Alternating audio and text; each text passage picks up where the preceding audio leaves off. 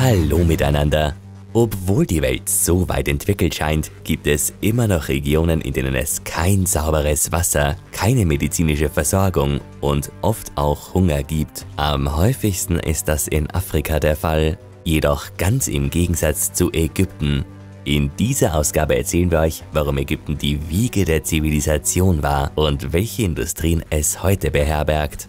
Die Arabische Republik Ägypten liegt in Nordafrika und im Nahen Osten. Das Gebiet wird von den Gewässern des Mittelmeers und des Roten Meeres umspült, welche beide durch den Suezkanal verbunden sind. Außerdem fließt durch die Landschaft Ägyptens einer der größten Flüsse der Welt, der Nil. 96% des Territoriums bestehen aus Wüsten, während sich die restlichen 4% fruchtbaren Bodens im Niltal befinden. Es war genau der Fluss, der zur Entwicklung der Zivilisation beitrug und die Quelle des Lebens ist. Im Sommer ist es in der tropischen Klimazone sehr heiß und die Temperatur erreicht bis zu 50 Grad, während nachts die Temperaturen in den Wüsten oft auf minus 5 Grad fallen. Es gibt wenig Niederschlag, nur im Norden erreicht die Menge rund 200 mm pro Jahr Ägypten verfügt über eine gut entwickelte Tourismusinfrastruktur. Weiters wird hier Baumwolle angebaut, rund 3% der Weltproduktion. Weiters entwickelte sich hier die Textilindustrie mit Konzentration auf Baumwollgarn. Ein weiterer Teil der Wirtschaft entfällt auf die Bekleidungs- und Lebensmittelindustrie. Und auch die Landwirtschaft ist gut entwickelt. Darüber hinaus wird im Nil viel Fisch gefangen. Polyflossen, Zahnkarpfen, Tigerfische, Welse und afrikanische Karpfen. Das Nilwasser wird zur Bewässerung und Düngung von Feldern genutzt und mit der heutigen modernen Technik wird die Wasserkraft des Nils für die Stromerzeugung verwendet. Die gesamte schiffbare Strecke auf dem Nil beträgt 3200 Kilometer und erstreckt sich hier auch auf den Yusuf, Ibrahimaya und andere Kanäle. Es ist erwähnenswert, dass der Nil im Unterlauf regelmäßig über seine Ufer tritt und das Tal überflutet. Daraufhin bleibt eine Schlickschicht auf dem Boden zurück, welche ein ausgezeichneter Dünger ist. Bereits 1970 baute die Regierung den Assuan-Staudamm und durch dieses Bauwerk ist es möglich, die Flut zu kontrollieren. Allerdings ist daher auch die Menge an natürlichem Dünger zurückgegangen und man muss heute zusätzlich auf chemische Düngemittel zurückgreifen, welche die Böden auslaugt. Deshalb war es notwendig, einen Ausweg zu finden, um keinen Hunger zu riskieren und nicht von Importen abhängig zu sein. So beschlossen die ägyptischen Behörden, sich auf die Fischindustrie zu konzentrieren und die erste moderne Fischzucht entstand bereits im Jahre 1930.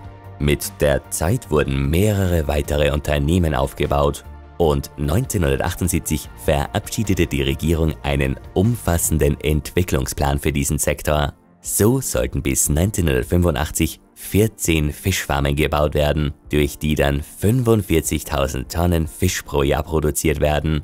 Dieser Plan ist aufgegangen und somit wurden Fischprodukte für die gesamte Bevölkerung erschwinglich. Die Industrie entwickelte sich weiter und im Jahr 2012 stieg die Anzahl der Fischfarmen auf 500 bei rund einer Million Tonnen Fisch.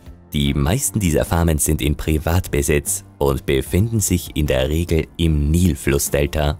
Da diese vielen Fischfarmen auch speziell ausgebildetes Personal benötigen, hat dies gleichzeitig zur Schaffung von Arbeitsplätzen und zur Entwicklung von Bildungseinrichtungen geführt. Allerdings ist das Klima ein Problem für die Fischindustrie. In der warmen Jahreszeit ist die Wassertemperatur genau richtig für die Entwicklung und Fortpflanzung. Doch die Wintertemperaturen wirken sich negativ aus. In der freien Natur können Fische die Wassertiefe wechseln. Doch in künstlichen Gewässern ist die Tiefe nicht groß genug. Und um ein Absterben zu verhindern, erweitern die Unternehmen die Fischgewächshäuser.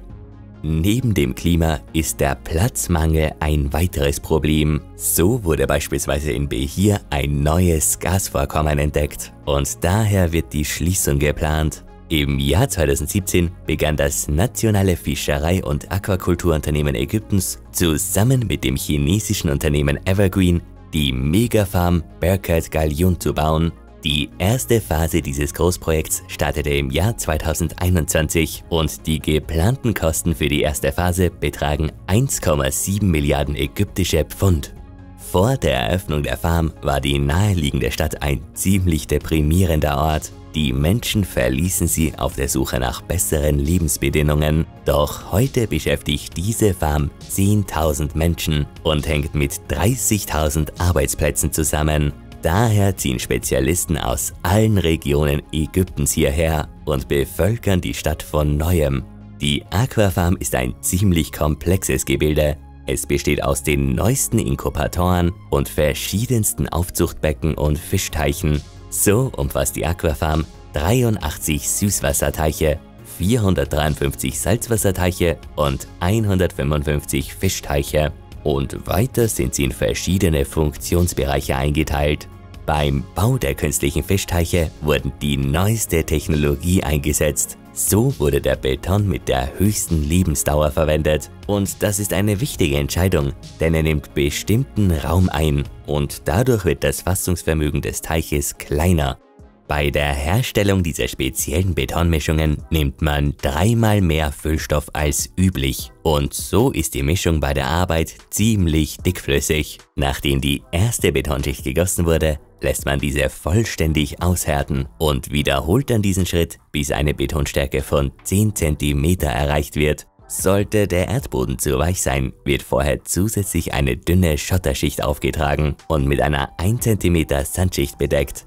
Danach wird der Boden verdichtet und für die Bodenauskleidung werden hochwertige Geokunststoffe verwendet mit Geomembranen mit geringer Durchlässigkeit.